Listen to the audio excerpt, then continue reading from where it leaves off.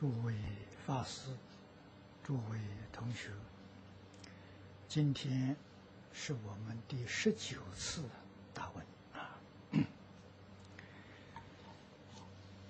首先，香港同修啊提了三个问题。第一个是，在道场服务的职员，除工作认真负责外，是否必须听经？啊，这个问题，哎，佛不勉强，释迦牟尼佛一生不勉强任何一个人，啊，时节因缘没有成熟。勉强也是没有用，啊，佛法总是讲啊，随缘而不攀缘，啊，但是道场既然这个地方有讲经有念佛，讲经念佛是世出世间第一等的好事，如果不劝大家了。那么将来，他这一生要是堕落了，啊，将来堕落到三恶道了，他一定会有骂这个讲堂的负责人。这么好，你为什么当时不教我，不提醒我？是不是？那个那个，我们就有过失了。所以我们劝他，他不听啊，那就就可以了。我们没有责任。他堕三途的时候，他不能怪我们。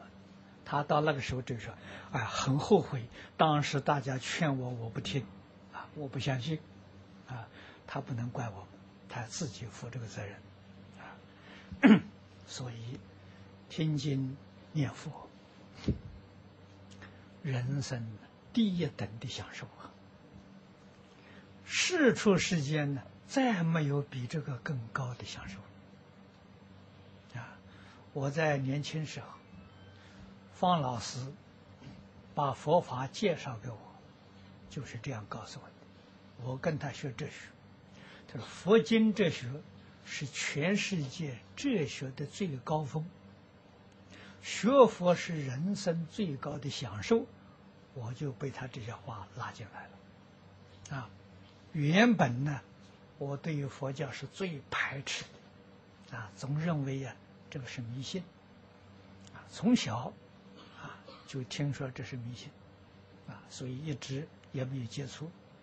可是真正想接触也接触不到，没有讲经的，啊，在那个时代啊，中国大陆没有听说讲经的，只有听说和尚给死人念经，啊，没听说讲经。到以后才晓得，讲经的法师太少了，啊，在那个时代，大概全国只有十几位。多半都在大都市，啊，农村里头哪里能听到？那我们那个乡下小城市没有，啊，几十年了没有人在那边讲经，啊，所以不知道啊这个佛法到底是什么，啊，所以产生严重的误会，啊，那我们要不是从学术上啊得到老师的启示，啊，对老师有尊敬心。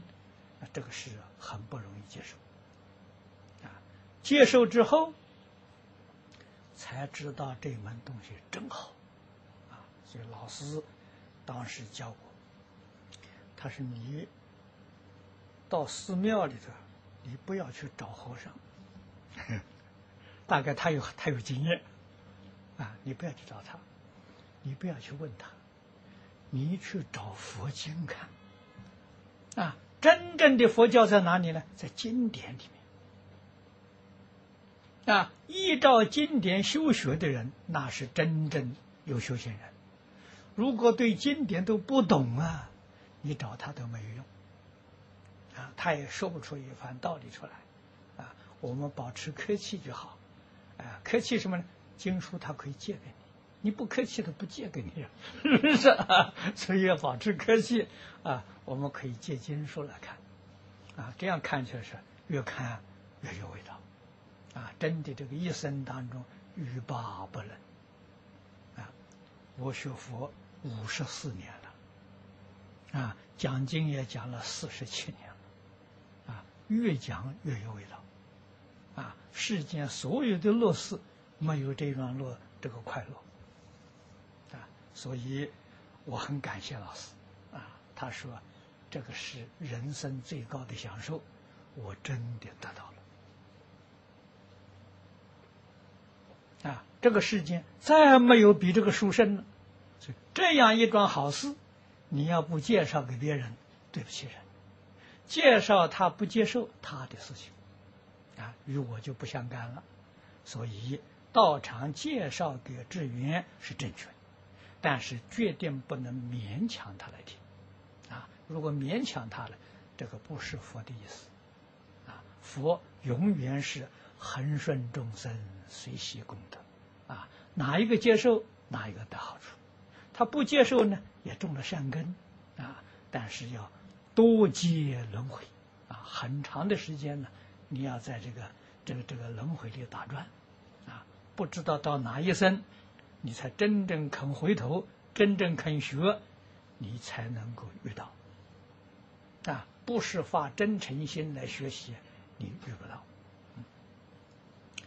如果发心，决定可以遇到，啊，因为佛门里常说，佛是门中不舍一人，啊，一个人发心呢，佛菩萨都会视线的帮助你，这慈悲到了基础啊，啊，但是你不是真心学习呢，你遇不到他，他不来，啊，所以你也骗不了他，啊，这佛菩萨很聪明，啊，骗不了他。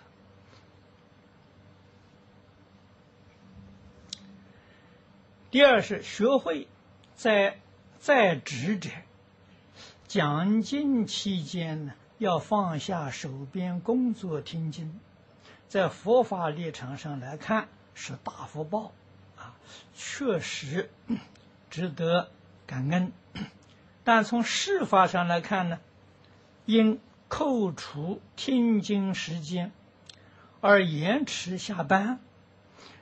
难免对家庭造成影响，这与印光法师所说顿能经分是否冲突？是冲突。啊，下班的时候他就应该回家，啊，这样就对了。做做这工作的时候呢，希望他工作速度能够快一点，啊，能够把听经的时间扣除，啊，这样就好。啊，如果实在是工作太多做不完呢？看明天能不能做，啊，如果累积下来时候不能做的话的时候，那干脆你就不要听经，啊，这个这是一个方法。真正听进去的人不一样，啊，我们现在在中国的时候做这个实验，我常常跟大家报告北京的大方广，啊，这个试点的时候试验成功。了，大方广的职员。老板请志远，他也是要考试，啊，录取之后，第一个月呢，专门听经，不上班，啊，工资照拿，拿工资的时候，老板拿工资，叫你每天听八个小时的经，听一个月之后，问你愿不愿意干，愿意干你就来，不愿意干你就离去，啊，你在别的地方找找工作。啊现在他们这个这个这个员工，老板从来不闻不问不管，也没有开会，每一个人工作的时候，这个心情都非常愉快，啊，居然有的每一天晚上工作到十二点以后一两点钟，不眠不休的在工作，你问他累不累，他不累，啊，发喜充满，这个很难得了。这就是真正明白了，啊，这个事情是个好事，是社会福利事业，啊，我们一般人都知道啊，啊，断恶修善，积功累德了，到哪里去积功累德了？道场里头来积功累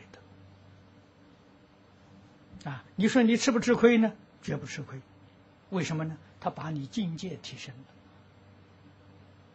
了。啊，那我们学佛的人都相信有三世因果，来生的果报啊提升，你来生决定不堕三恶道啊！来生到人间是大富大贵呀，多半都升天上啊！啊，那要求生西方极乐世界没问题，真有把握啊！啊这是果报无比殊胜。是你都要明了，你要懂得，啊，你才，哎，你才能会做到，欢欢喜喜就做，没有丝毫勉强，啊，有勉强就不对了，啊，勉强的来工作，啊，工作也有好处，但是来生得福报啊，他都好辛苦，啊，你像我们这个世间有些富贵人家，啊，他发了财了，但是他很辛苦。赚的钱，为什么呢？就是前世啊，积功累德很勉强。啊，这个不想做，可是不做又觉得不好意思。啊，很勉强，所以他还是得福报啊，赚来的很辛苦啊。如果欢欢喜喜的啊，快快乐乐的做了，他来生的福报啊，是一点不操心啊。无论做什么事业，他钱财滚滚而来，不用操心啊。赚的很快乐，因缘果报丝毫不爽啊！这个道理要懂啊，都是我们自己修来的。今生的果报，过去生中修的啊，这一生当中修的来生的果报，这三世因果啊，这个不可以不知道啊。所以哪里需要勉强呢？哎，不需要勉强。第三是由出家人常到道场化缘，或向道场信众化缘，是否如法？道场知事人员呢？如何应应？道场化缘的事情很多，但是我们老师传下来的道场决定不能化缘啊？为什么呢？李老师的道场是个讲经弘法的道场。如果一化缘呢，大家吓得不敢来了。啊，化缘的事情小啊，你把心众都吓跑掉了，这个罪可不得了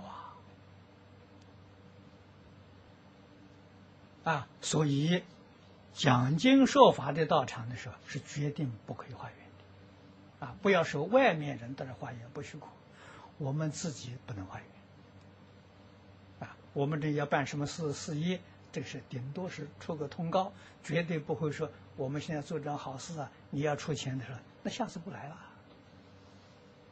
你把人家的法身慧命断掉了，这个最大你化缘能得几个钱？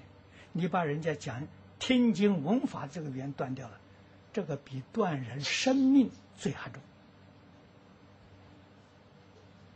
啊！杀一个人的罪。并不很重，破坏人家听经机会因缘的这个罪，比杀人的罪要重得多，啊，为什么呢？人生虽然难得了，还容易，佛法真的是难闻呐，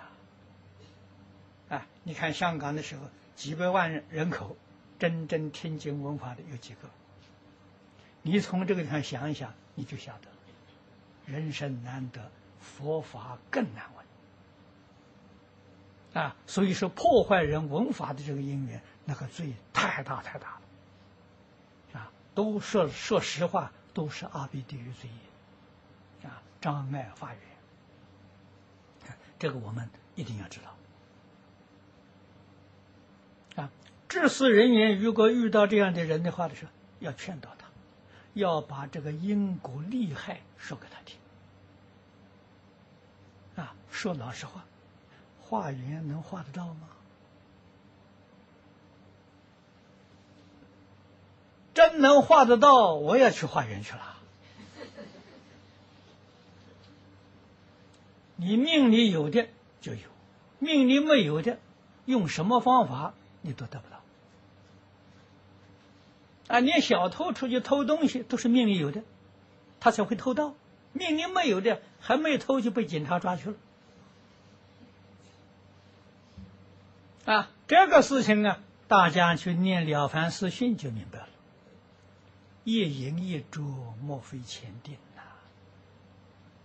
呐！啊，所以世间人谋财要用正规的方法，不能用欺诈了。用欺诈的方法得来的财富啊，实在讲，是你命里面财富啊已经打折扣了。那你命里头今年可以赚一百万。因为你用的手段不正当，常常欺骗人，大概你只能赚五十万，你觉得很了不起了。我今年赚五十万，其实你命里一百万已经丢掉五，丢掉一半，你都不知道啊。啊，如果你用正当的方法赚来的钱，自己自己除自己用之外，还能够布施啊，做好事啊，那你今年会赚到两百万。它增加了，啊，这个是正当的道理，你要懂得。啊，佛在这个经里头讲的太多太多了，那我们常常说，财从哪里来？财布施来。啊，不是到处欺骗人，欺骗人哪哪里会发财呢？哪有这种道理呢？啊，欺骗人是把你自己命里头的一点财富啊，全部亏折掉了，很可惜。所以要懂这个道理啊。那么我是从学佛老师指导啊，读了这些书，明白这个道理，一生没有向人花过一生没有伸手问人要过一分钱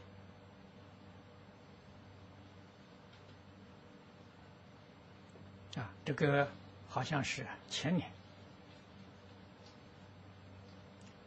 陈郎居士。陪到我去访问李嘉诚，我们谈了五十多分钟。啊，我送他不少这些这个光碟呃这些发物。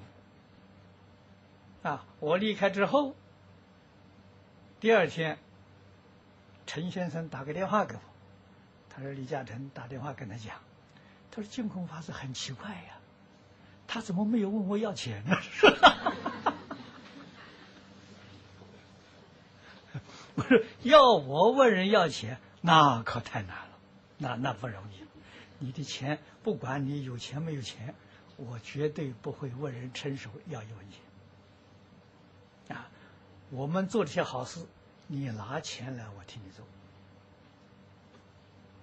啊，就说我要问你要钱，我就做。这个事情不能干，这个事累死人啊！哪哪有说，古人讲的好啊，多事不如少事，好事不如无事，无事才好啊！哪有找事情的呢？啊！可是有一些信徒希望做好事的时候，他没有缘分，不知道怎么做法，啊，来找我，那我们就帮他做，啊，一生呢都是帮别人做好事。啊，没有自己主动去做一桩事情，没有啊！啊，你看到香港来讲经，我跟香港的缘相也算很深了。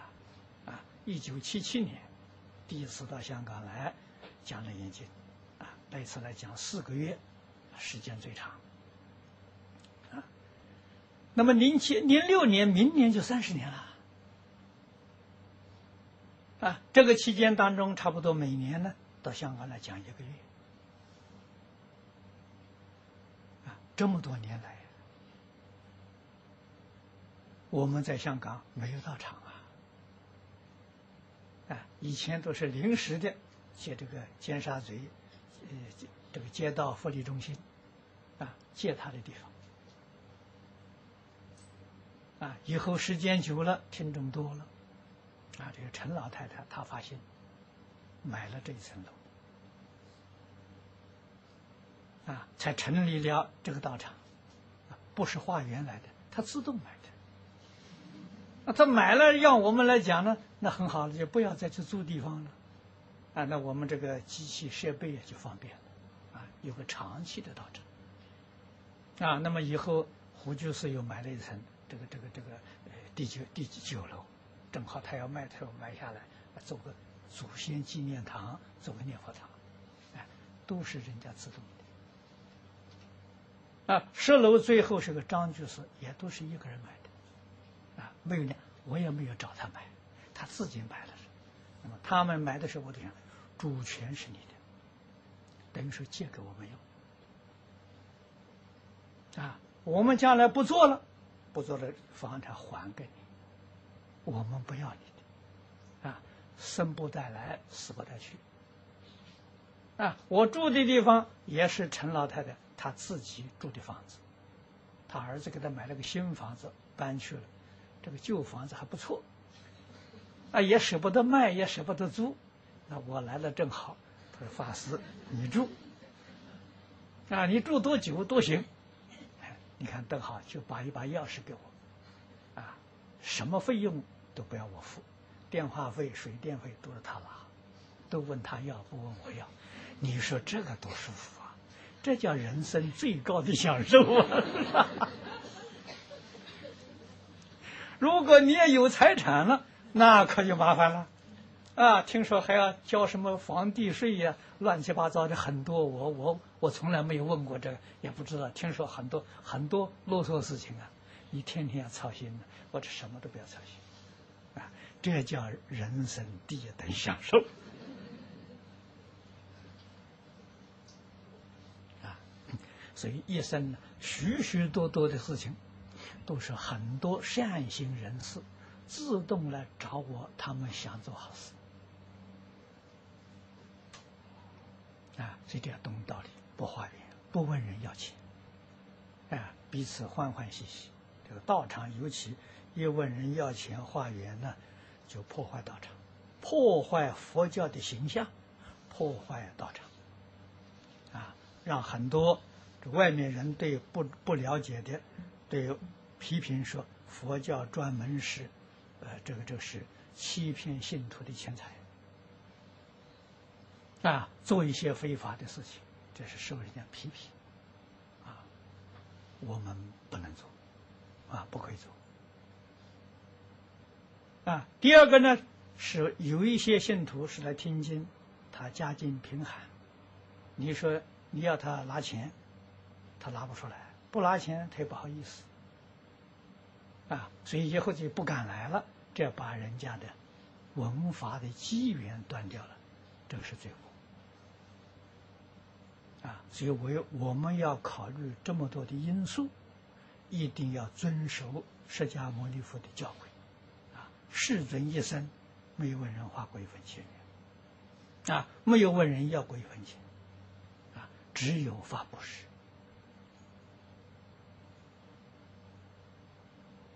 啊，有教无类呀，啊，热心的教导人，啊，平等对待一切众生，啊，这个要记住，要知道。下面一个问题是：道场接受啊，信众虔诚供养，如有不适用或难以处理的物品，应以何态度接受？凡是信徒来供养，是他一片诚心，啊，一定要欢喜接受。啊不能够拒绝，不能够批评，啊！你像世尊当年在世，他的生活是每天出去徒步，有的时候遇到乞丐，啊，乞丐拿什么供养呢？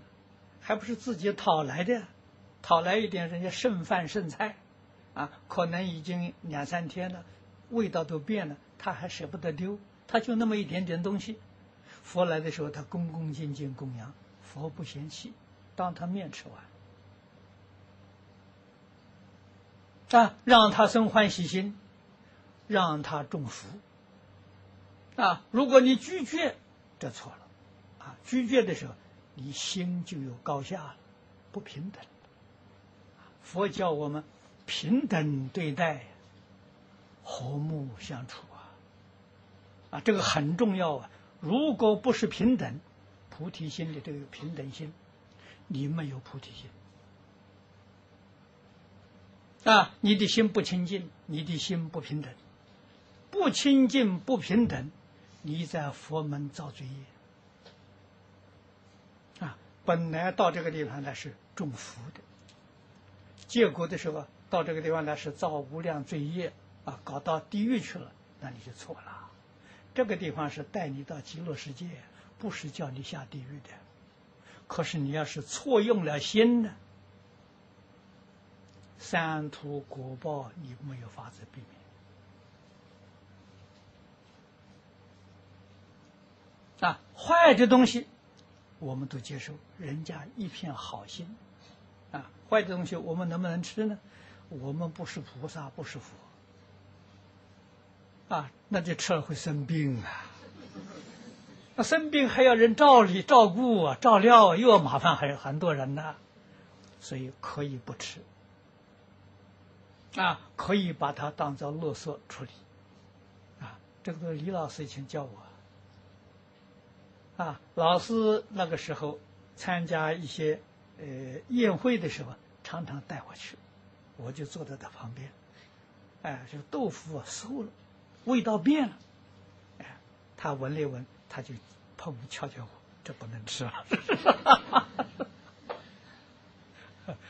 啊，所以我们老师他很慈悲呀，啊，他他是呃很谨慎啊，所以佛教徒讲求卫生啊，但是人家送来坏的东西不可以拒绝啊，一定要欢喜接受，感他这一份情。啊，他走了之后，你再再好好的把它处理，啊，因为有些坏的东西啊，可以给出生的，啊，那么在香港比较困难，那我们在澳洲的时候，鸟兽很多，可以喂鸟，啊，可以给这些小动物们吃，啊，它们没有问题，啊，所以处理的方法很多，啊，如果说是。像香港这个地方呢，呃，一切都不不不方便呢。我们恭恭敬敬用塑胶袋包好的时候做垃圾处理，啊，不能随便，随便我们就没有恭敬心。恭恭敬敬把它包得整整齐齐，啊，收垃圾的带走，这就对了。一切要以恭敬心呢，没有恭敬心就造罪业啊。这个要知道。底下一个问题是：现在许多企业家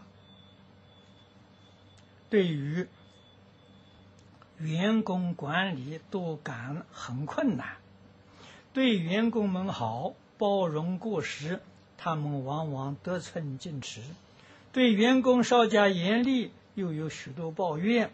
到底应该怎么办？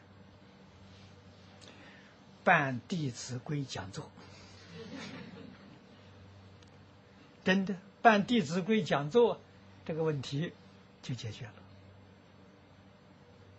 了。啊，毛病所以致发生的原因是什是什么呢？没有学过《弟子规》。啊，换一句话说，从小他学着做事，啊，他有能力办事，他不会做人。《啊弟子规》是做人的教育啊！中国这五千年来还能够存在这个世界，还是一个大国，原因是什么？有没有人去研究过？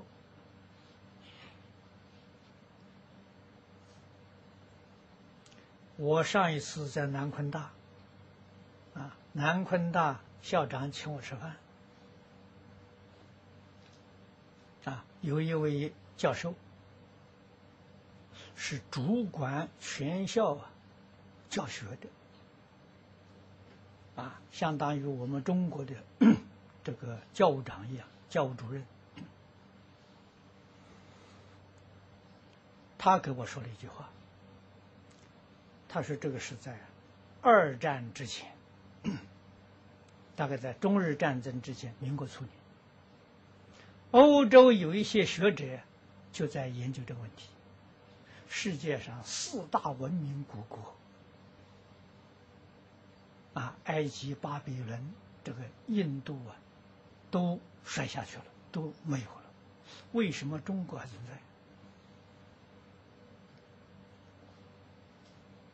在？啊，最后他们得到一个结论，他说可能是因为中国有家庭教育。这个话说对了，完全正确。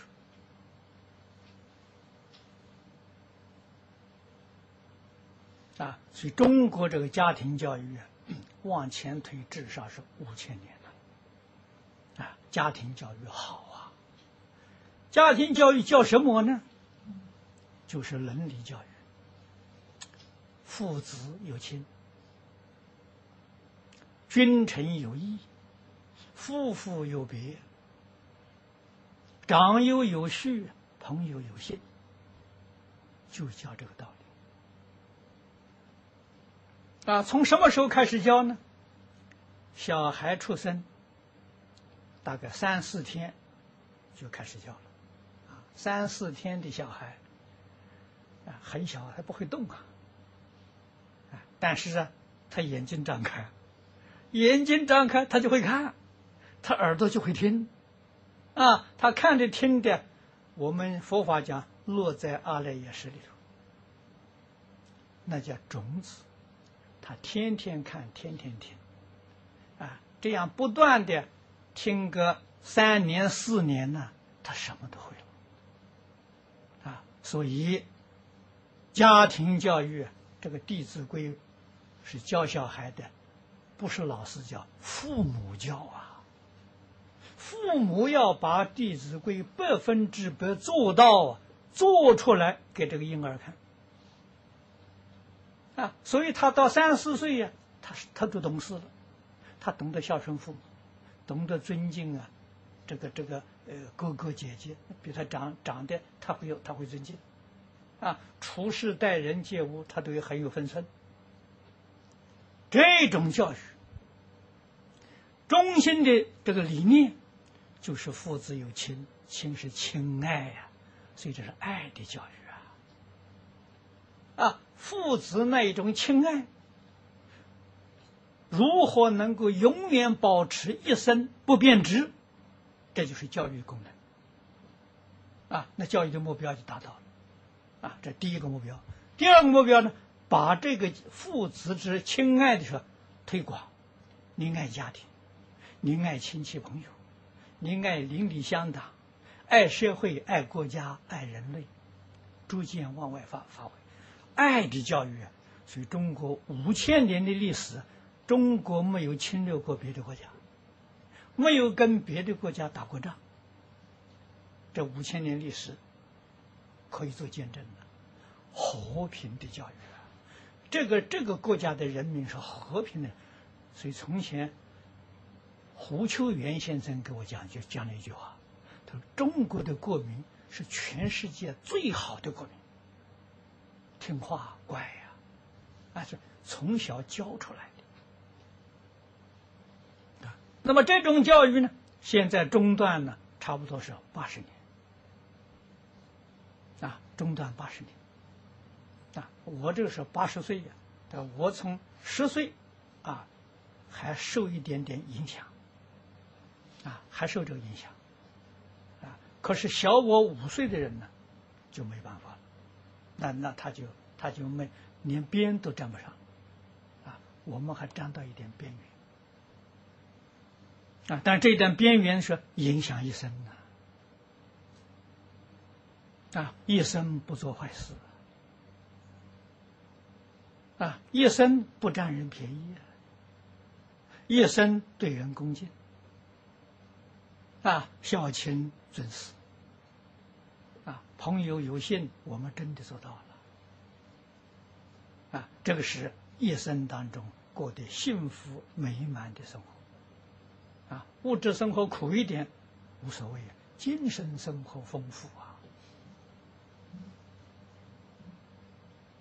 啊，这是中国传统教学啊，所以现在我们提倡《弟子规》，啊，这是很不得已，除这个办法之外呀，没有第二个办法。啊，《弟子规》怎么学法？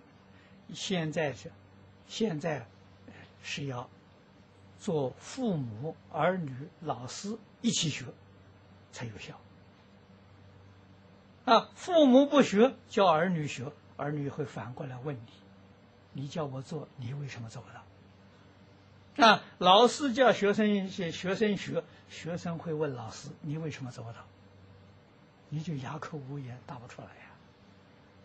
啊，所以一定是。老师、父母跟儿童一起学，就会产生效果。啊，如果这个教学能够推动五十年，我们中国传统的这个教学的话，就能够恢复。啊，这个恢复在现在这种高科技啊、交通便捷了，那么可以介绍给全世界。世界可以恢复和平。啊确确实实可以化解冲突，啊，这一定要靠中国人东西。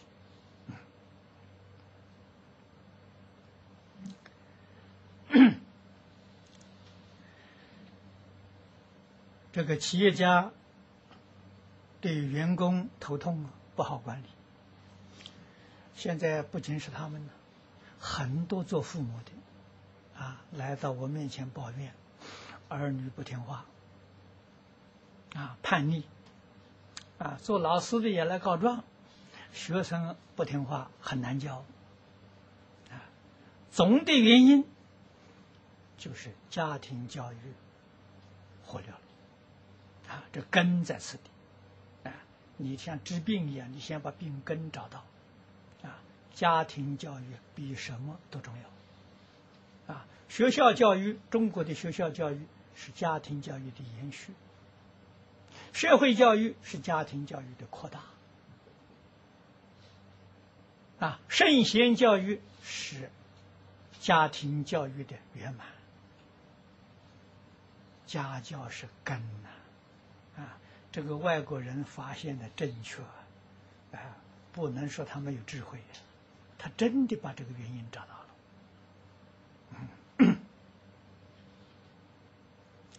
所以现在呢，就是我们要提倡啊伦理道德教育，特别是《弟子规》的教育啊很好，啊，这个确实是是解决办法的不二法门。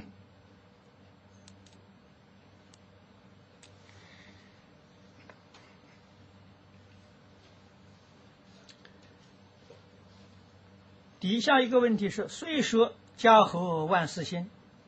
但如果父子夫妻同在一个公司服务时，往往容易产生摩擦，特别是家族企业，反而伤害亲情。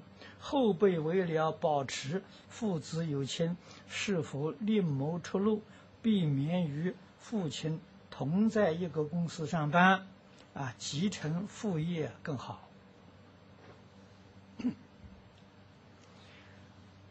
真正解决的方法还是读书，开智慧，智慧开了，问题自然解决。啊，没有智慧，这种属于逃避。啊，那么这个冲突不能够化解。啊，一定要读书啊，要读圣贤书啊，一定要接受中国传统教学。啊，啊中国传统教学能解决一切冲突。啊，这个话是外国人说的。啊，英国汤恩比博士说的。啊，他过世啊也有很多年了。他说这些话大概是在一九七零年代。啊，所以一定要学习啊！这个父子有亲，你早就把那个亲忘掉了，哪里来的亲呢？亲已经变质了，变成怨了。这个问题很严重啊！啊，儒家只讲到啊，讲到这个当然呢，没讲到所以然。啊，更深入一层的所以然呢，那一定要在佛法里去找。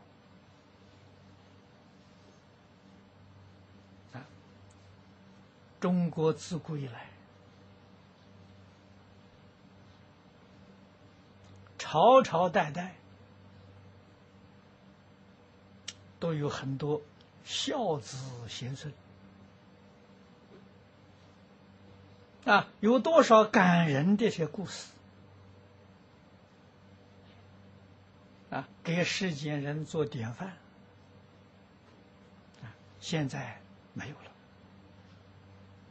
往后还有没有呢？往后更没有了，啊？为什么原因？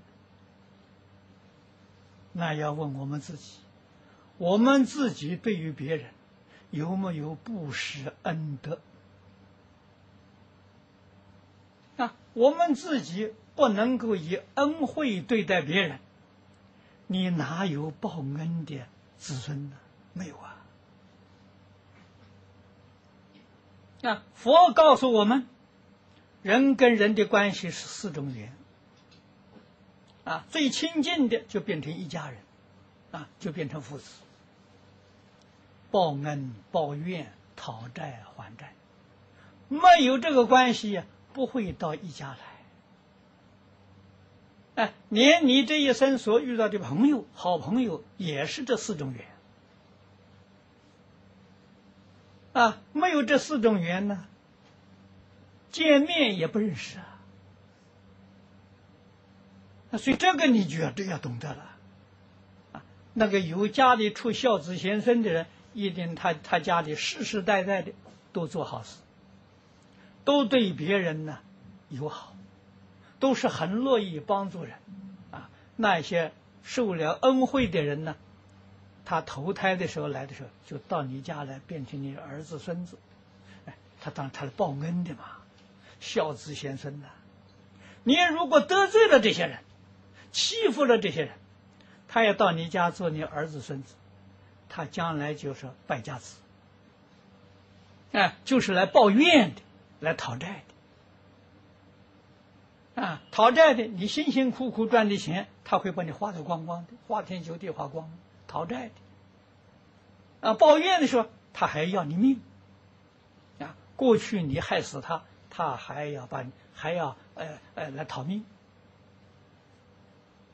因缘果报啊，啊，这个事情麻烦了，啊，所以总而言之一句话呢，佛说的很有道理，人生愁业。我们人到这个世界来说，为什么的呀？愁偿过去所造的业报，啊，过去造的善，你来享福；啊，过去你造的罪业，你今天的受苦受难。啊，所以真正搞清楚、搞明白了，无论受什么样的苦难，不怨天不尤人，自己造的不善的因嘛。现在欢欢喜喜承受。啊，承受的时候不怨天不由人，啊，没有嗔恚心，没有报复心，这账就结了。账结了，下一次再碰到的时候，来世怎么就是好朋友了？不是怨化解化解掉了，冤家宜解不宜结。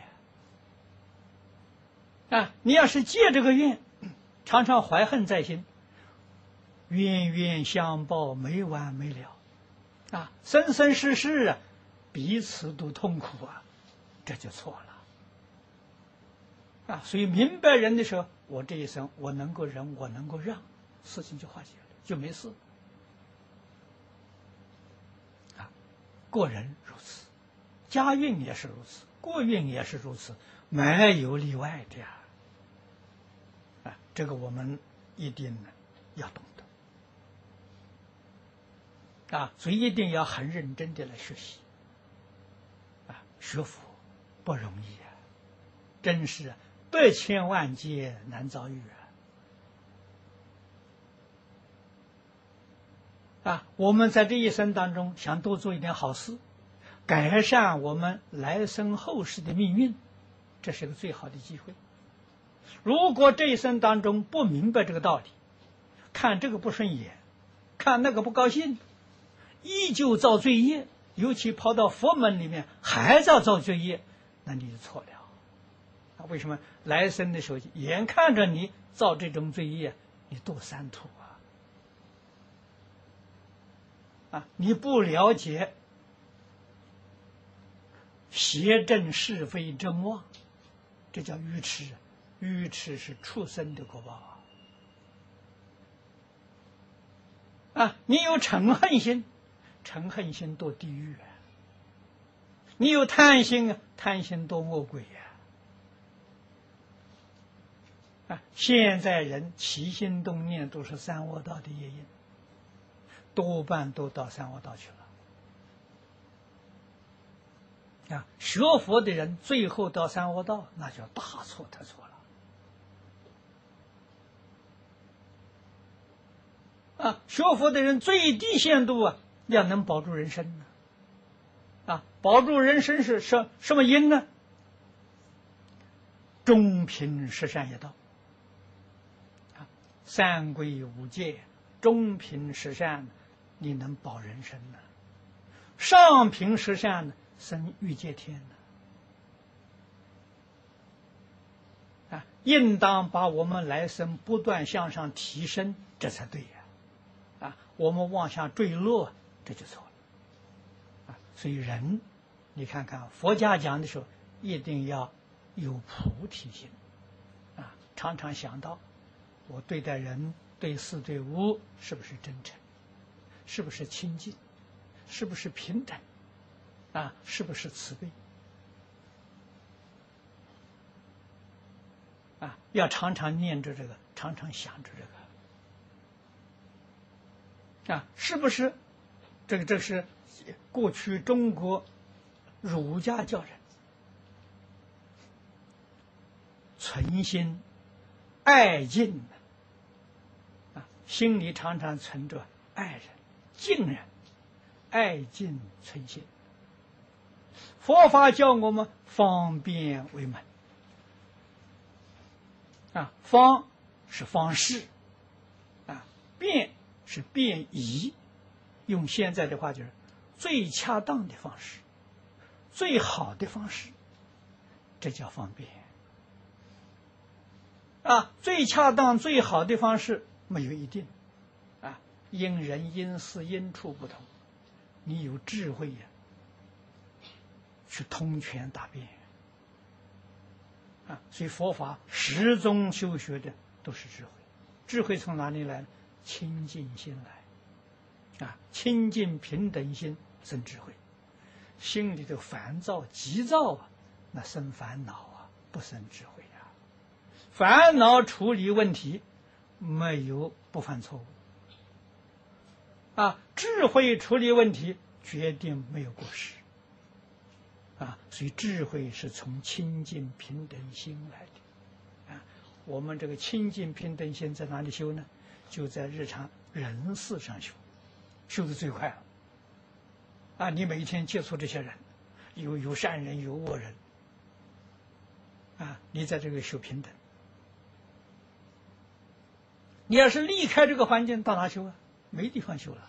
你到深山里修清净平等，修个十年二十年，觉得啊很清净很平等了，一入都市马上就乱了，经不起考验。啊，真正修行啊！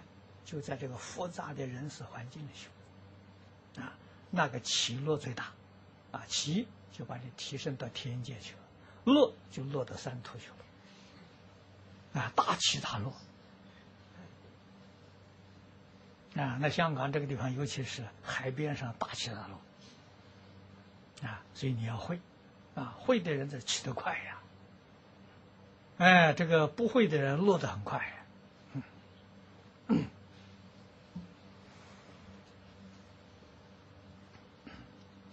这个下面是有关儿童读经的提问。这个现前海内外有许多团体提倡儿童读经，弘扬中国传统教育，请问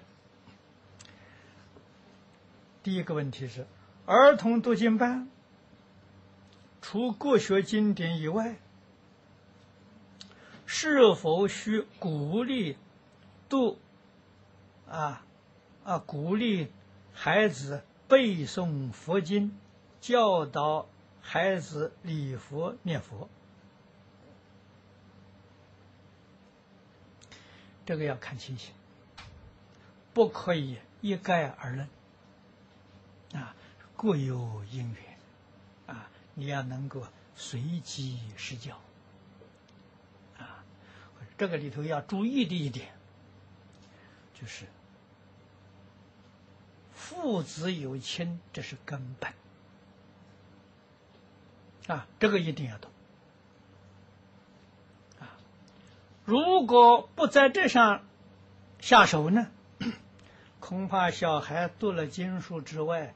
将来长大的时候啊，他来反佛了，反得很彻底。啊，为什么？你佛教里的什么玩意他都知道。啊，他会把你彻底破坏。啊，那个时候你就后悔莫及了，你就永堕地狱，那要出来就很难了，啊，就不容易了。所以。佛在经上讲的很好，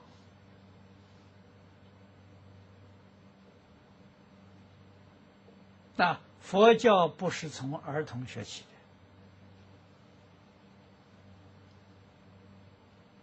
的啊。佛门里面固然会收沙弥的，那沙弥总是七岁以后。你看看中国伦理道德的教育是七岁之前。啊，你没有这个根，不能收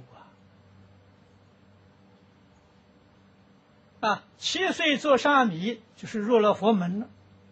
啊，学什么？学小乘经。小乘经里面学做人的道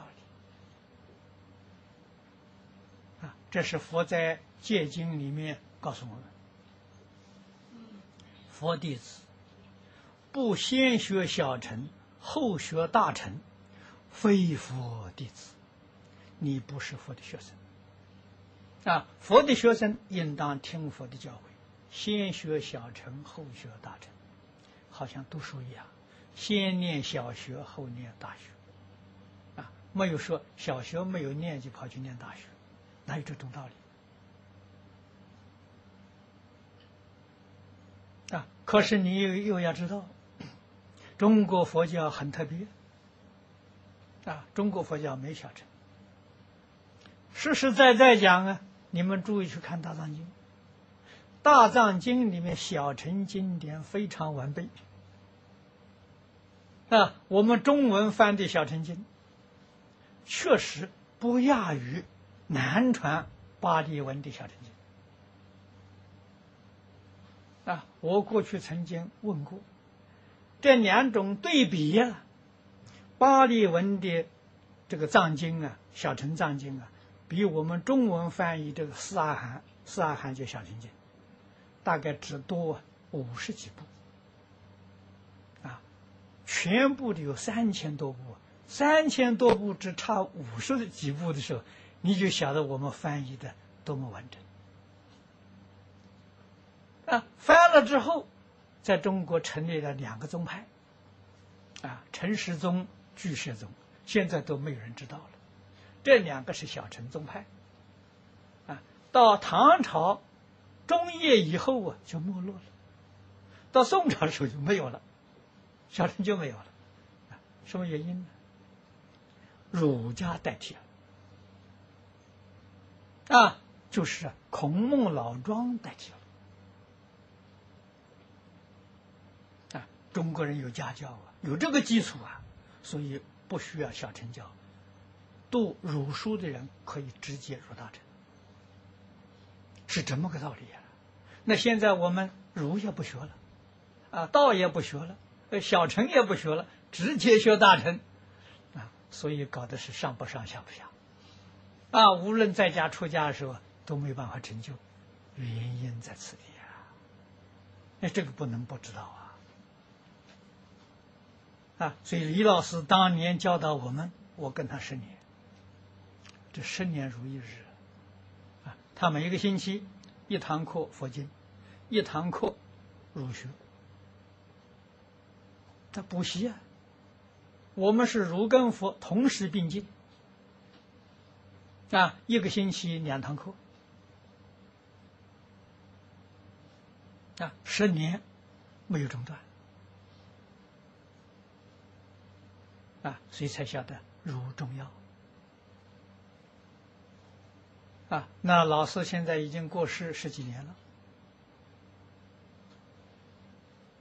啊，我们现在就越来越清楚，越来越明白了。啊，老师过去对于这些德行的教育，只给我们提示，很重要，他老人家没有开讲。啊，因此我们的学习呢，也就很懈怠，不是很认真。啊，他老人家教我们用五种仪规，我们每个学生都去买了一套，啊，作为修身读本，啊，这一门课程只教我们自修，而没有没有这个正式啊排上课，啊，当然他也是很忙啊，没时间，啊，我们自己读。啊五种仪规里面，同盟养正，啊，朱夫子有一篇呢，《同盟须知》，那就是《弟子规》的前身。《弟子规》就是这一篇东西重新修改重定的，啊，是依这个本子来定，啊，这朱熹的，啊，而实在上呢。他是参考许许多多古时候这个著名的家教啊，可以说《弟子规》是中国传统家教的集大成。编得好啊，他用《三字经》的方法编，啊，一句三个字，啊，总共三百六十句，啊，一千零八十个字。啊，编的实在是好。啊，他的纲领就是孔子在《论语》里面一句话：“啊，弟子入则孝，出则悌，谨而信。啊，泛爱众而亲仁，行有余力则学文。”父子这一句话作为纲领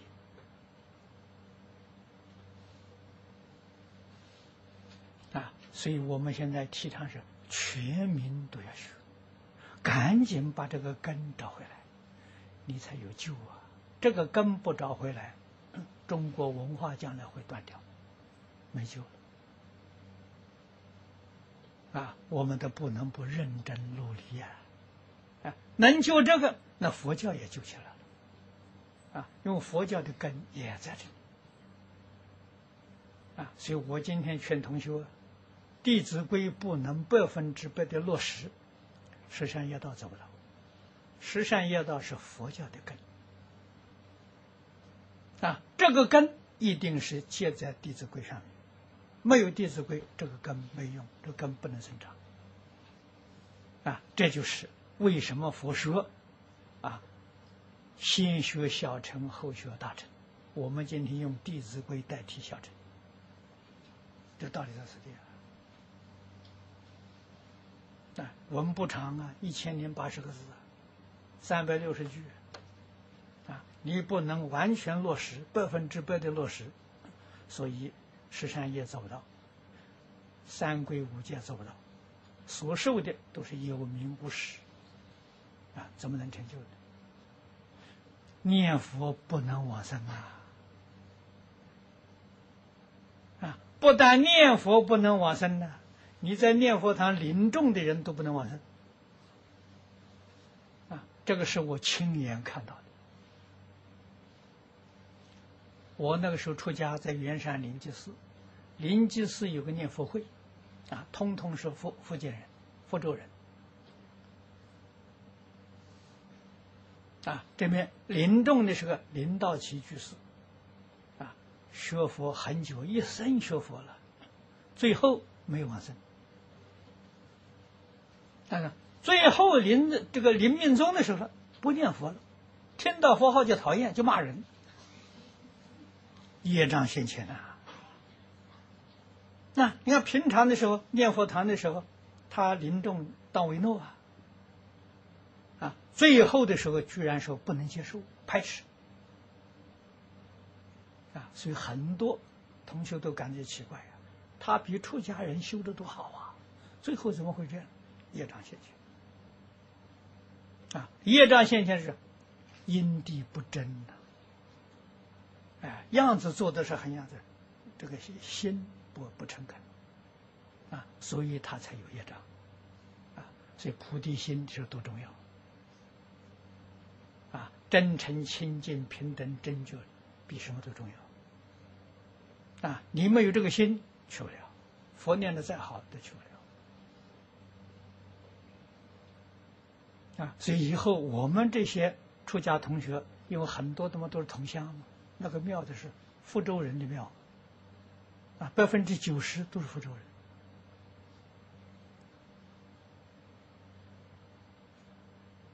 人。啊，我小时候在福建住了六年，小时候我福我福州话讲的还不错，啊，所以他们对我那没有把我当外人，啊，我们同学在一块时候。回忆这个这个这个这个林老居士啊，他一生的这个这个言行，我们发现了，个性很强，脾气很大。啊，人家做错事情的时候不能原谅。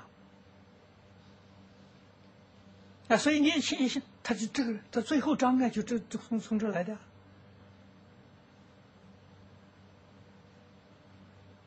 虽然是念佛念的那么虔诚，啊，念的那么好，啊，这一个星期一次念佛会，啊，也是几十年都没间断，啊，很不容易啊。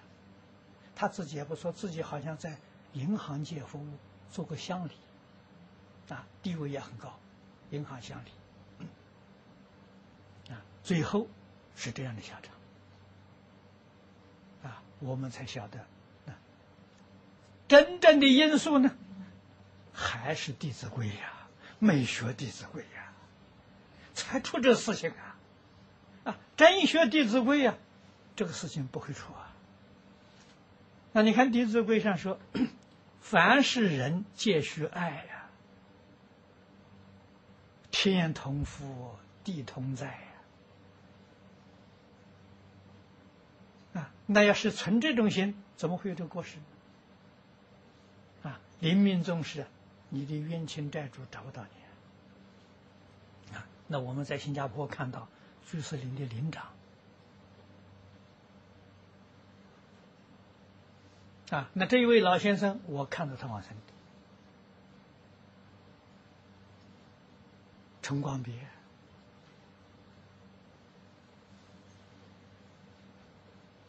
啊，他是个银行家。啊，在新加坡非常富有，啊，生病生了两年，躺在躺在床上不能动，啊，业障病啊。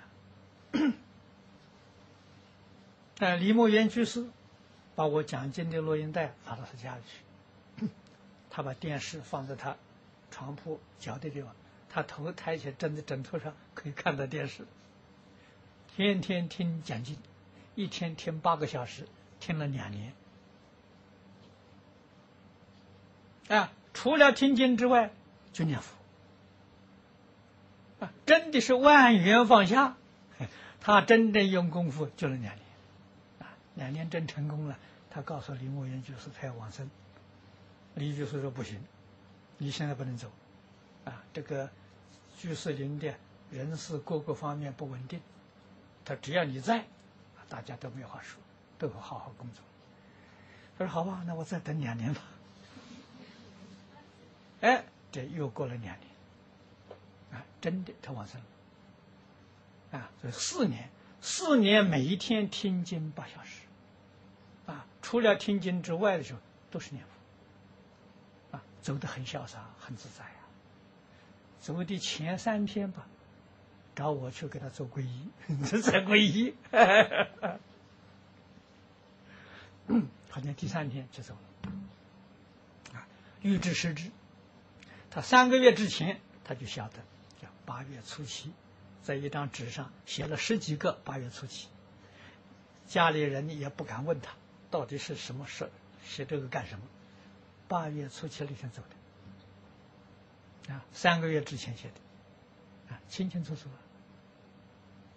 他走了之后，那我们培训班的同学到他家去作业，啊，轮班去作业，啊，二十四小时都不中断，啊，有一批学生回来了，回到宿舍里，啊，陈光别的冤亲债主啊，不少啊。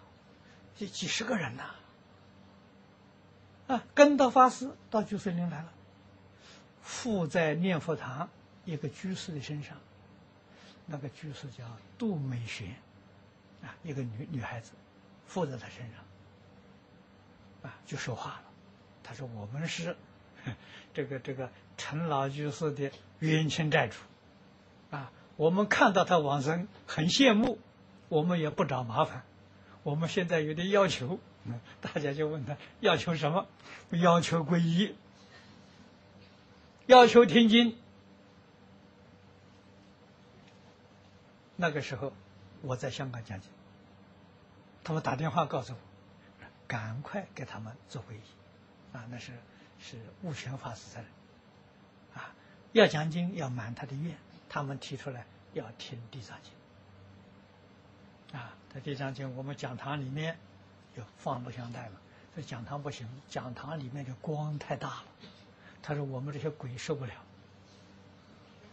啊，以后要求说要求在餐厅，二楼餐厅，一楼是餐厅，在餐厅里面放这个录像带，二十四小时不中断，供养这些鬼神，啊，冤亲债主啊，啊，你看你真有功夫。冤亲债主对你尊敬啊，不会妨害你了。啊，你要对他不恭敬的话，他就会找你麻烦。啊，所以我们在在呃台湾看到林道奇的时候，也是银行家林明宗去找麻烦，不让你念佛。这个陈光别的时候，临终的时候，你看这个冤亲债主还帮助他，看到他往生。生欢喜心不一样，做人不相同啊！啊，人不能没有德行啊！你没有德行的话，吃亏的是自己，不是别人。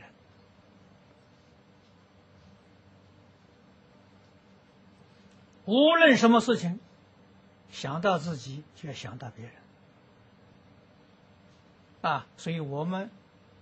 要想对别人的这个言语态度，先要想一想，别人用这种言语态度对我，我欢不欢喜？我能不能接受？我不能接受，我就不可以用这个态度对人啊，我就不可以用这个语气对人。你常常能这样想啊，你才能真正是铲除业障啊，才能断恶修善。才能积功累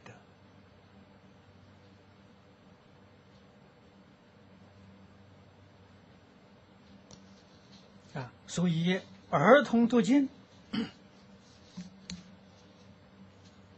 是另外一个问题。儿童必须要学《弟子规》，父母一定要带着小孩把《弟子规》在家庭里落实。这个重要，如佛的根都在这里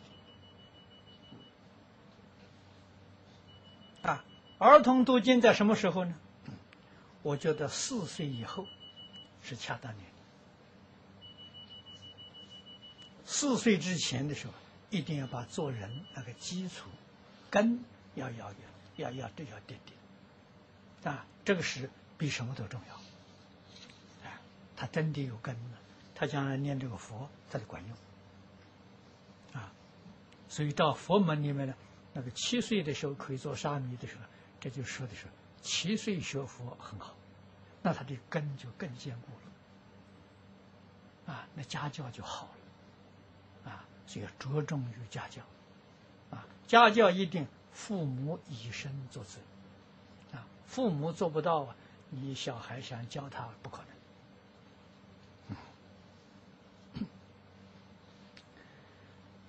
啊，第二个问题，何应强调入佛戒分？儿童读经班呢，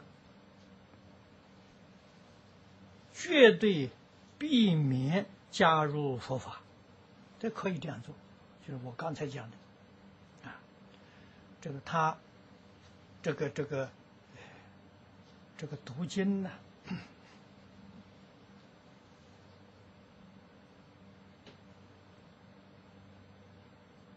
确实，中国古时候教学读经还不是在很小的儿童，啊，真的都是在六七岁以上，啊，根立的六岁可以学，根性中下根性的七岁，啊，前面这段时间是决定是同龙养正，啊，这绝绝对不可以疏忽，如果疏忽这一点的时候，读经以后都有麻烦。啊他经读多了，他会拿着经典去批评父母，去批评大人。现在就出现这个事情了。中国大陆啊，在他们推动这个、这个、这个、这个儿童读经呢，结果儿童的时候就批评父母，在学校批评老师啊，啊，这个问题发生出来了。啊，王才贵居士为这个事情特地来访问我，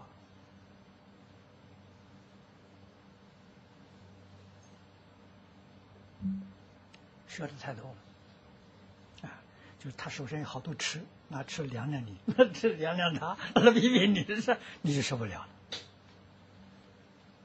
啊，所以还是要用古人的方法，啊，经只能学一种。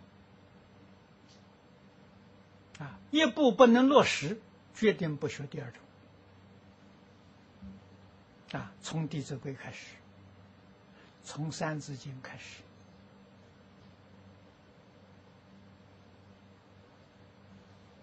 啊，中国有一套教学的这个这个这个基础。啊，从千字文开始，千字文是认字。啊，每一个字的意思。啊，识字啊，学诗贤文，那是格言啊，很好的教训。从这开始啊，这些东西学会了之后，才开始读经啊。那么读经在一般都选《孝经》啊，《论语》啊，《大学》《中庸》《孟子》很好啊。这个是中国这个这个呃。儒家学术的中心核心啊，非常重要啊，要让学生念的能够背诵，要背得很熟，然后要讲解啊，怎么样把它应用在日常生活当中，应用在工作当中。应用在处事待人接物，啊，这学以致用啊，才能成就。啊，第三，是儿童读经，如佛经，这个呃佛的经典学习次第啊，这个不能不注意。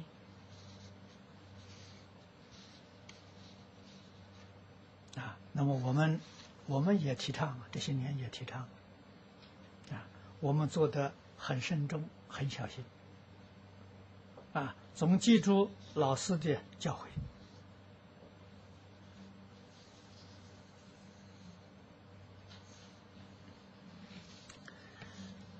下面是中国同修的问题啊。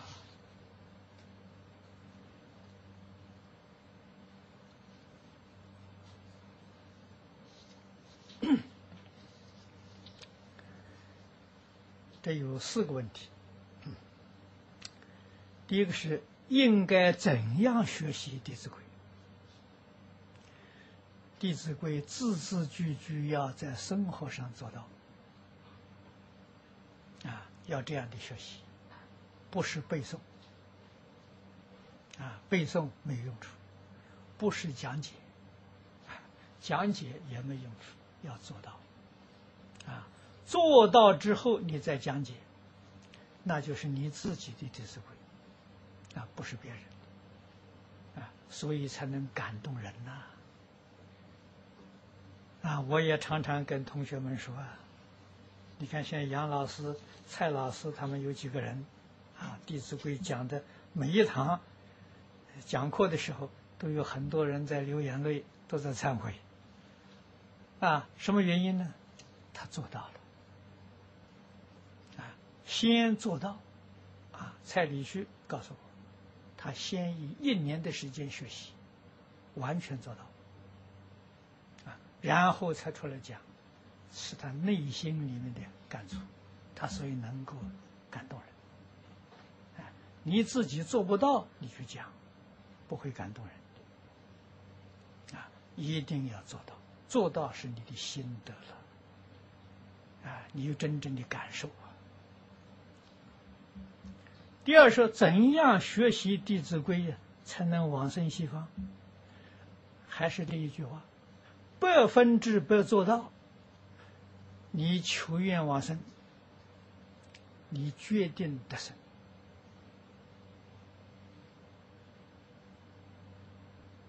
啊，为什么呢？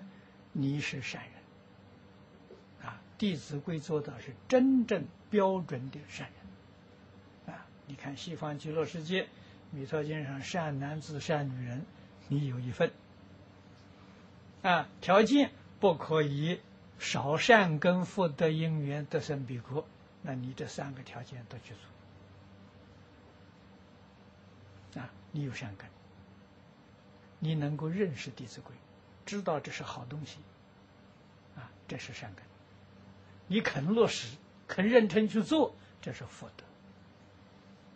德。啊，那么你知道有极乐世界，有阿弥陀佛，你祈求往生，这是因缘。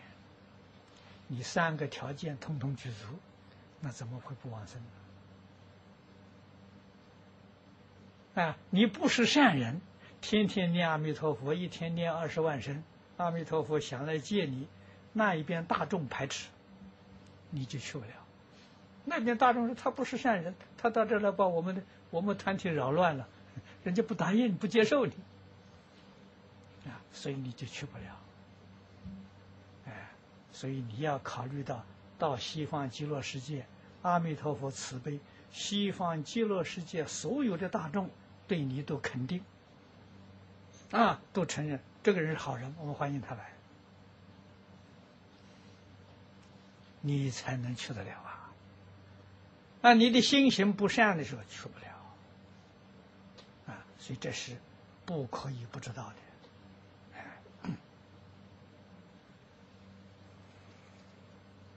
第四个问题，他说：“弟子在一边学习《弟子规》，一边学习《无量寿经》，无意之间发现《弟子规》就是《无量寿经》，乃至《华严经》也一样，请老师给我印证一下，对吗？”对的，一切一切一切皆一。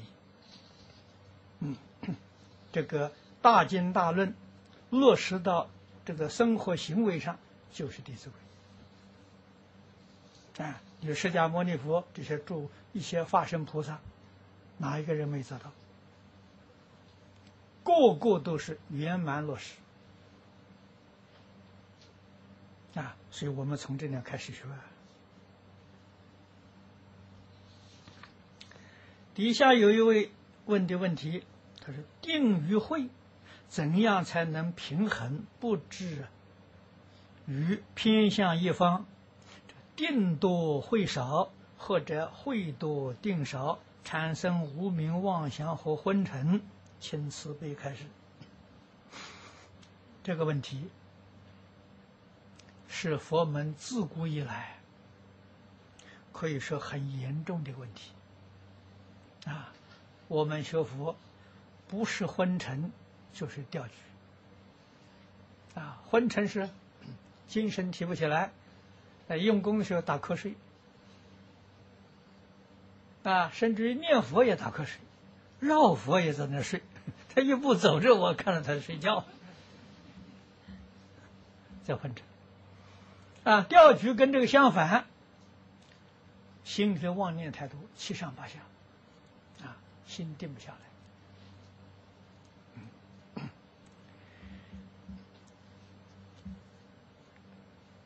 最重要的要知道，这些病根叫业障啊！啊，那你从哪里做起呢？铲除业障啊！你要真正忏悔呀！啊，怎样忏悔法呢？忏悔不是天天在佛前面磕头求佛菩萨饶恕，没用的。佛菩萨不管这个事情。啊，我初学佛的时候，张家大师教我。啊，佛是门中有求必应。啊，他说了。有时候你求没有感应，啊，那那不是佛那边没有感应，是自己有业障，啊，只要把业障消除啊，你所求的感应就现前，啊，这老师教我的，怎样铲除业障呢？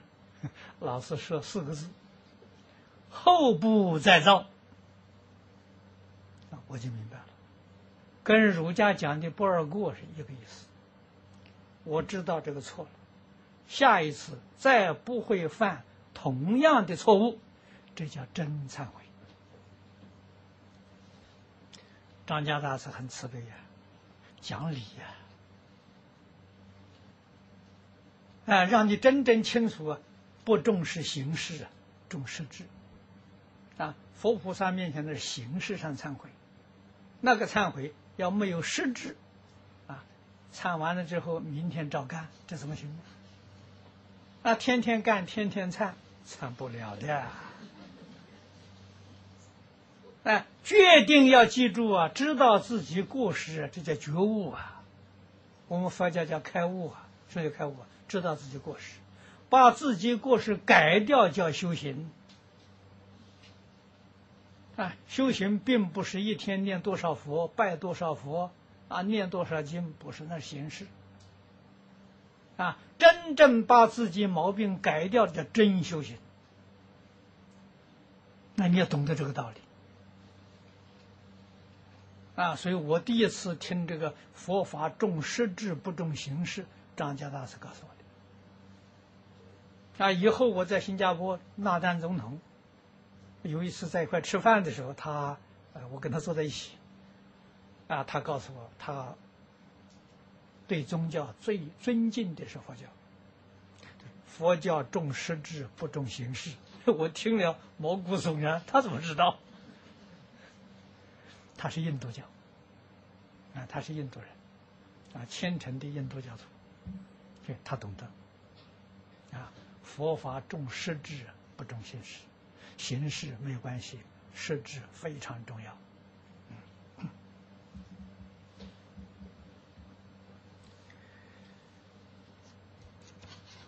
下面好像又是一位同学问题，他有两个问题。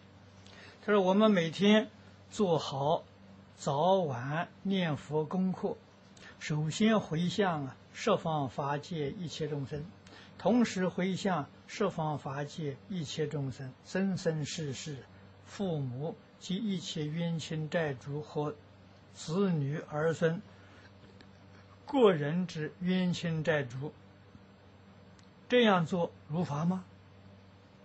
是否自私？这样做如法？自私也好啊！啊，只要能为众生们、为大家想，多好啊！何况你这个里头有啊，这个回向十方法界一切众生，这就行了，这个就不自私啊。那当然，自己家亲眷属、父母冤亲债主也包括在其中嘛，总不是十方法界以外的啊。所以说，通通都有了，这样能够脱开心量。可是问题呢？你有什么功德回向？问题在这个地方。我念一卷经，啊，念几声佛号就有功德吗？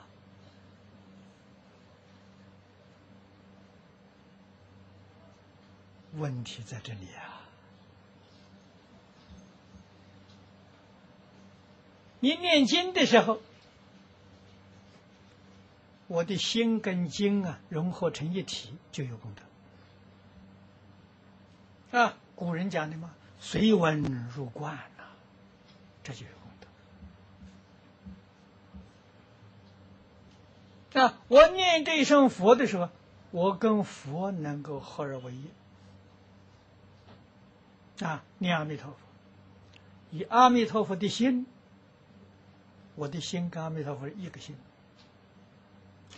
我的愿跟阿弥陀佛是一个愿。我的行为跟阿弥陀佛是一样的行为，我的言语跟阿弥陀佛一样言语，那就很有功德了。一念相应，一念佛；念念相应，念念佛，这才能回向啊！口念弥陀，心散乱呢，你哪时拿散乱回向？啊，口念阿弥陀，我心里还恨着那个人，是不是？你怨恨回向，这怎么行呢？这个不行啊！啊，所以行结要相应，这才有功德。啊，行跟结不相应的，哪来的功德了？啊，所以是以功德回向，你首先要想到你有什么功德。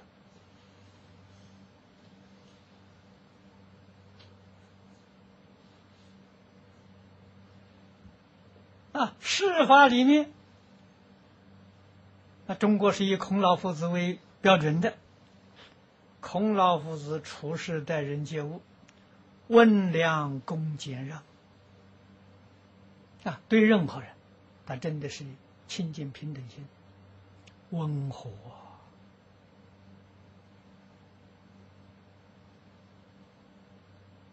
善良。恭敬，对人都恭敬的。普贤菩萨叫我们第一句话是礼敬祝福，我们也没做到。啊，父子的恭敬就是礼敬祝福。啊，节俭，自己生活很节俭。啊，希望多余一点出来的时候帮助苦难的人啊。节俭目的在此地啊。最后那个让是礼让，对人要有礼，要谦虚，啊，要知道让，啊，这就功德了。啊，我们这一天当中处事待人接物，是不是这个心？啊，那么在佛佛佛法里面，啊，那就是三福六和。啊，三学六度普贤十愿啊！如果我们不说这些，再说个最普通的、最简单的十善业道，我们的心、我们的行都能够与十善业相应，这功德啊！如果说是与十恶业相应，那你念阿弥陀佛念的再多都不相应。这个这个不可以不知道。第二，他说我本人呢，做卖香烛，其中有些品种是往生钱，即印有往生咒，但不知是否可以卖及化掉，为了顺从众生，这样做如法吗？心正，行就正。啊，那么买这个这个顾客来买你的东西，你都能劝发劝他发慈悲心，啊，劝他念阿弥陀佛，这就对了。因为你卖香烛、卖纸钱，来买这些人的时候，大概都不排斥佛法，啊，你劝他念佛很好啊。啊，如果有 结缘的这些光碟送给他，介绍他到道场来听经，那你真的就有功德了。啊，一切呢都是以真实的利益了帮助他，哎，这样就好。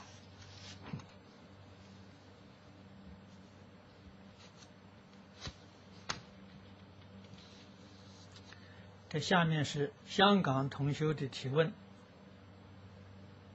啊这一共有五个问题。他说：“已经在其他寺院受了三皈五戒，可否再在本协会呀再做皈依受五戒的仪式？没有这个必要啊！但是三皈五戒是假的，不是真的啊，只有形式。”你没有做到，啊，三皈你没做到，啊，皈依佛，佛是觉而不迷，你现在还迷惑颠倒，啊，这一条你没做到。法是正而不邪，你现在还有邪知邪念，啊，你没有皈依法。身是净而不染，你现在的心还是染污不清净。三条都没做到，所以是假的，不是真的。你在这个地方皈依也是假的，也不是真的。啊，无戒你也没做到，啊，你哪一条做到了？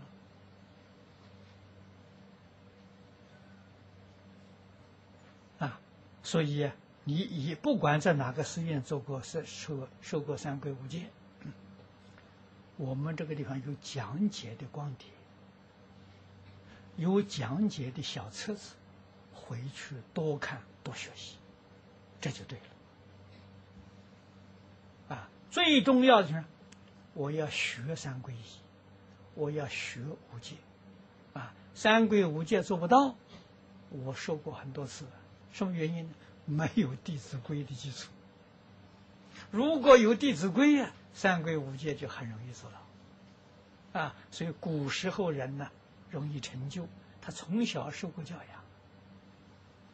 养，啊，现在的人很难成就，就是我们的基础教育疏忽了，啊，没有接受到这个教育，是干什么都困难，啊，所以还是要从头学起，啊，一定从《弟子规》学习，啊。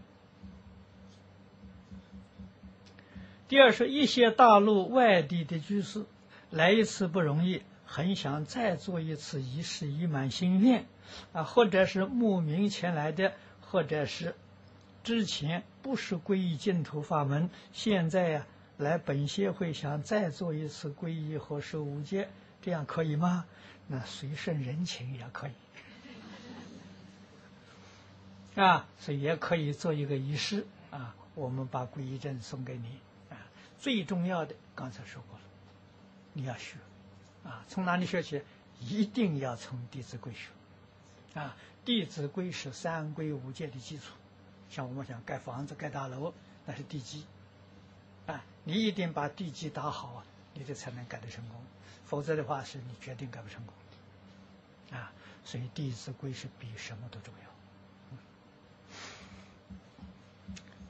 第三是已受无戒不能持戒，可否退戒？怎样退戒？可以，啊，退戒很容易，只在佛菩萨面前磕三个头，我这个戒要退就退掉了，哎，不不必告诉任何人，那就退掉了。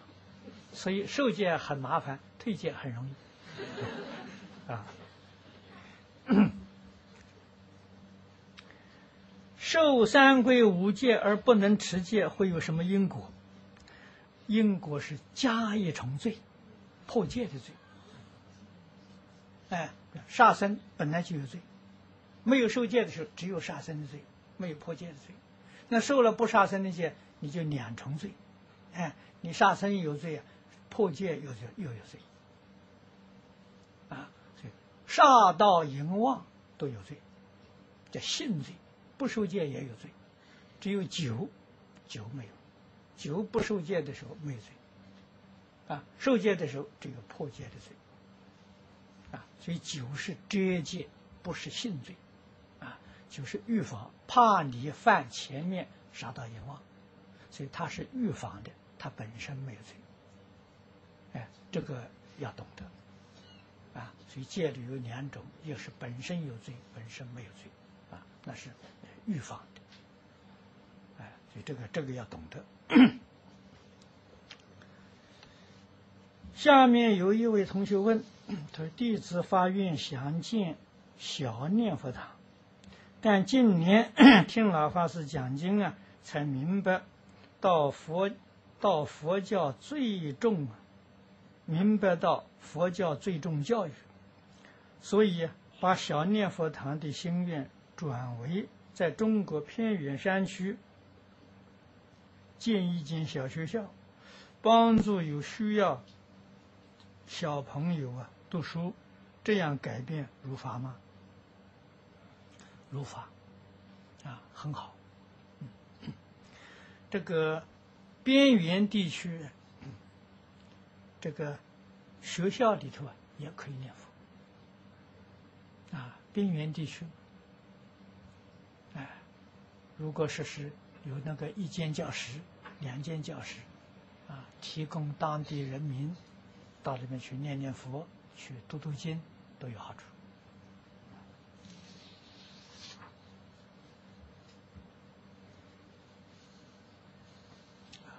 下面这是澳洲同学提的问题。第一个是佛家讲三世因果。凡今世所受报，皆为前世、前生恶因所致。请问，希特勒杀害这么多的犹太人，若对犹太人来说呢？这是他过去造因所受果报，是否容易引起歧视弱势团体的误会，或造成支持？希特勒复仇的错觉，这个问题很深很广啊，解释起来很费事啊。总而言之，任何一个人在这个世界一生所遭遇的，确实离不开因果啊。这个话佛法里的说说的多。啊，中国过去，这个世俗里头也讲的很很透彻，啊，连美国的凯西啊，他也说过，啊，我们看他的这些报告，啊，他曾经讲过，全世界任何一个人，在这一生当中啊，他所遭遇的绝对没有一桩事情是偶然的，啊，就是跟前世的因果没有关系的，他是没有。啊，被人杀害也都是因果。啊，以前这个朱金洲老师就是给我讲，战争里面死亡的，通通都是有因果。啊，他那个时候举了一个例子告诉我，啊，这个这个抗战之前呢，这是日本在上海啊发动的这个一二八这这个这个战争，啊，在上海打的这个仗。那么他那个时候在苏州，啊，苏州在一家银行做经理，啊，职位也很高。他朋友当中有个通灵的人，啊，在大陆上叫走阴差，啊，职位不高，传递公文的，啊，像传令兵啊，传递公文的，啊，他说在世人世间，上海是个大都市，啊，市长地位很高。他说在阴曹地府呢，上海是个县，啊，上海的城隍地位不高，普通县长，啊，而苏州的城隍啊叫都城隍，等于省长，啊，所以他有一天，他说这个上海啊，有一批生死簿啊，送到这个都城隍这儿来，哎，他接收的。接收他翻翻看看，他很惊讶，这个名字都是四五个字。说中国人复姓嘛，当然都是四个字的事。他哪有这么多啊？啊，很奇怪。第二天早晨的时候，他们朋友聚会的时候，就是朱老也在的时候，哎，他就跟大家说，都想不通。啊，三个月之后，日本人在那发生战战争呢，恍然大悟。日本人在这个战争上要死的名单早都送去了，没有一个冤枉的啊！啊，战争里头没有一个冤枉死的，哎，该死的三个月之前，那个生死簿也送到送到城隍那里去了，啊，所以他在讲的时候，这个事情可可怕，所以说一言一啄莫非前定啊，哎，通通有因果啊。啊那么希特勒这个是这个事情的时候，这是一个很大的因因果报应，英国们也晓得，不要有怨恨心，希望化解。啊，冤家宜解不宜结，像这种大型的，释迦牟尼佛在世的时候遇到啊，释迦族啊，释迦族被琉璃王的时候灭掉啊，啊，这是佛陀看见的，啊，有没有办法拦阻呢？不能拦阻，业报。啊，什么原因呢？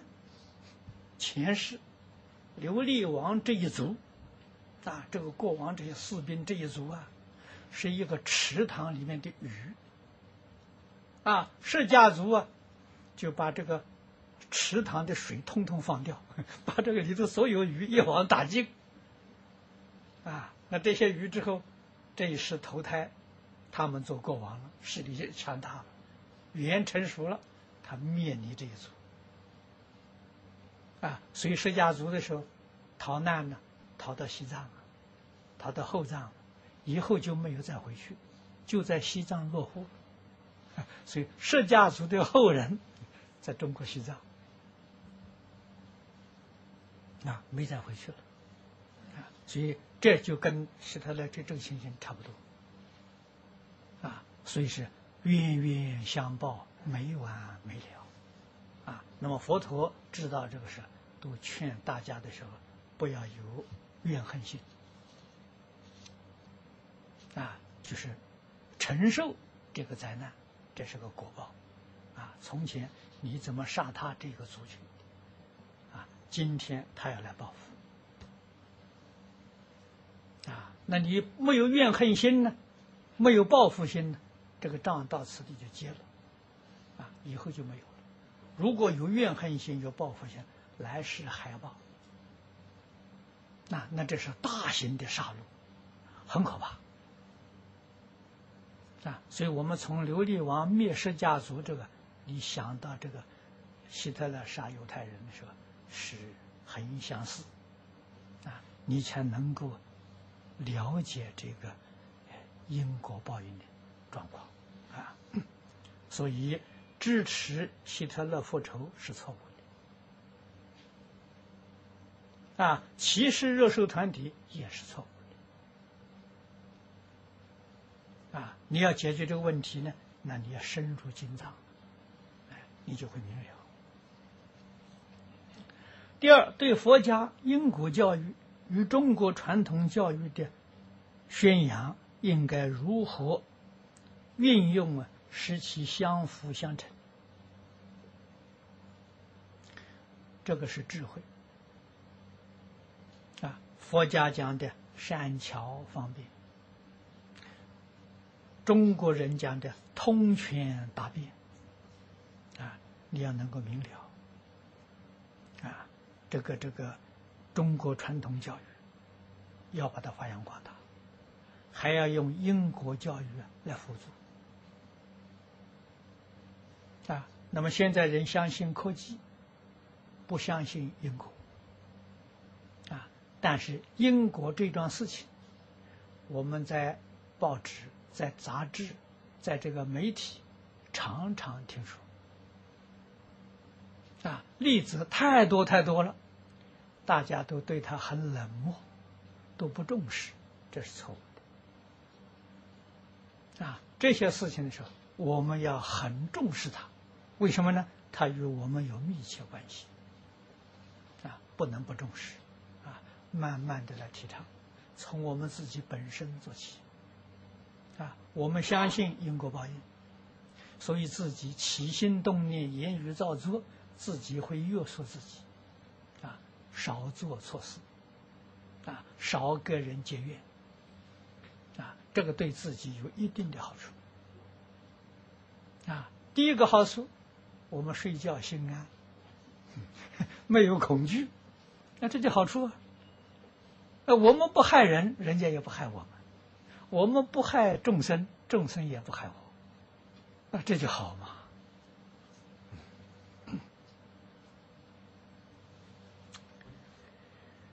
第三是最近中国神舟六号成功发射，举国欢庆，但有些人却以为中国强盛会为世界和平带来威胁。请问，真是如此吗？这个话你不要问我，我的问题，你说是真的是假的呢？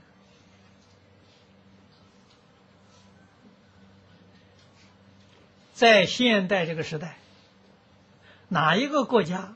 要是对别的国家发动战争，那叫大笨蛋，那叫愚痴到极处。啊，用战争手段处理问题的时候，这个时代已经过去了。二次大战就结束了。啊，往后不可以再用这种方式。啊，为什么呢？科学技术发达了。啊，特别是传媒发达了。今天无论世界上发生一点什么小事，全世界人都知道。啊，你骗不了老百姓啊！从前这些这些国家领导人发生发动战争呢，哎，因为没有媒体啊，都听他的。他说什么，我们全国人都相信啊。现在不行了，现在这个媒体天天报道的是，那你说你就不能欺骗人了？啊，所以这个方式不适用。啊，美国是世界超强的国家。啊，你看对伊拉克用，全世界人都知道，没有正当理由啊，这人家就瞧不起你，不服你啊，啊，所以你这个国际声望啊就降低了。啊，这仗打打了之后啊，到现在不能结束啊，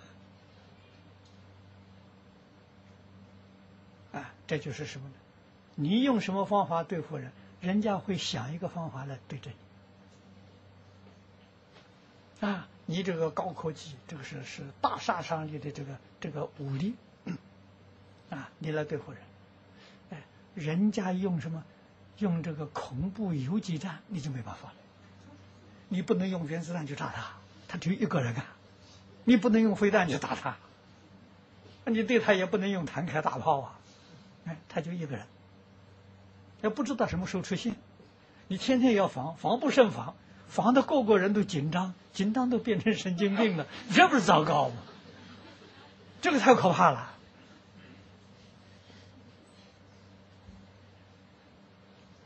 所以我跟布什总统见面的时候，我就跟他讲了，要化解，哎，要化解，不能对立，对立这个两双方都痛苦，啊，化解。我们和睦相处，平等对待，啊，这才是办法，啊，所以说是中国会威胁，呃，威胁世界，我不相信，啊，不要说中国没有这个力量，啊，中国这个军事武力跟美国要相比的话，至少要相差五十年，落后五十年。啊，不可能的！啊，同时中国也不会对任何国家发动战争，没有理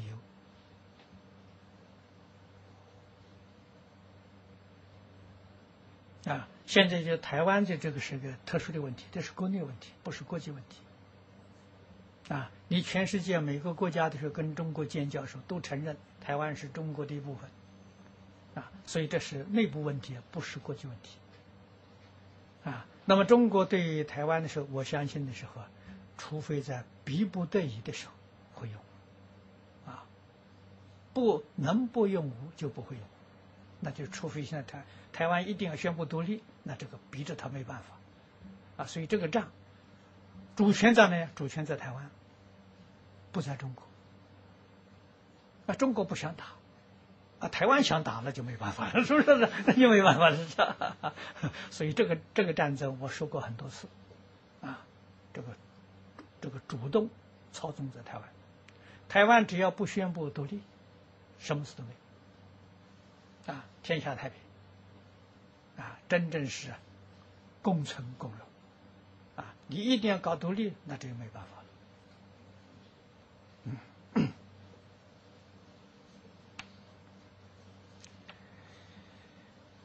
啊，这时间快到了，下面还有新加坡同学三个问题。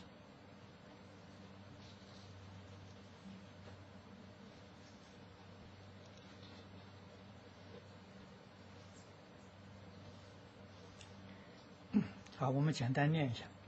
我时常参加临终助念，但无论怎么样用心，总觉得不如过去为自己。父兄助念时那一份发自内心的恳切，这时我觉得平等心是遥不可及，又感到自己很虚伪，心里很难受。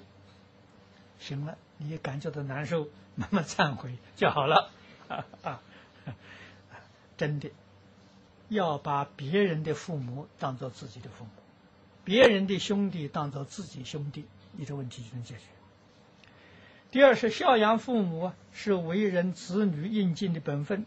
如果父母公婆反对佛法，且对儿孙的教育观念不正确，为下一代的正确教育儿女，是否尽量选择与父母分住比较好？分住不一定好，哎，但是父母所不能够理解的，你要常常去开导讲给他听，哎，这个叫规劝。啊这个你诚心诚意去做的时候，分析的很清楚，他就会明了。哎第三个是现代社会呀，家长往往溺爱儿童，而以老人为累赘，特别是老人倚老卖老、难以理喻，或者是久病、生活无法自理之时，年轻人往往觉得，这个立得越远越好。应如何将中国传统教育观念应用于现在生活？对你说的话很对，啊，这些问题现在是社会上普遍的病症，啊，原因在哪里呢？原因就是中国传统教育说过了，啊，所造成的这个果报，啊，那要真正彻底解决，还一部《弟子规》就解决掉了，那这个问题全解决了，嗯，好，现在时间到了，我们就讲到这里。